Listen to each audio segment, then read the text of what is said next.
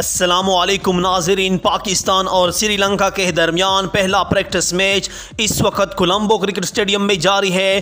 पाकिस्तान ने अपने पहले इनिंग में कितने रन बना लिए हैं? पाकिस्तान की जानब से कौन कौन से खिलाड़ियों ने निसफ सेंचुरियाँ बनाई?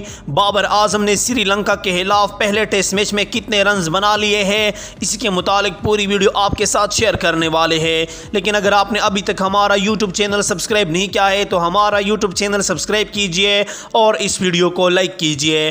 पाकिस्तान और श्रीलंका 11 के दरमियान पहला प्रैक्टिस मैच इस वक्त कोलंबो क्रिकेट स्टेडियम में जारी है। पाकिस्तानी टीम अपनी पहली इनिंग में 322 रन बनाकर आउट हो गई। पाकिस्तान की जानब से कप्तान बाबर आज़म ने एक बार फिर शानदार करकर्दगी का मुजाहरा करते हुए अठासी रन की इनिंग खेली। पाकिस्तान की जानब से आगाज़ सलमान ने भी पचपन रन की इनिंग खेली है, जबकि सऊद शकील भी साठ रन बनाकर नॉट आउट रहे हैं।